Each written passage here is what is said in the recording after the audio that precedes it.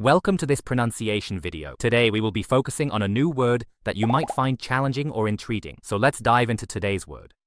Kinchaku, which means purse in Japanese. Let's say it all together. Kinchaku. Kinchaku. Kinchaku. One more time. Kinchaku.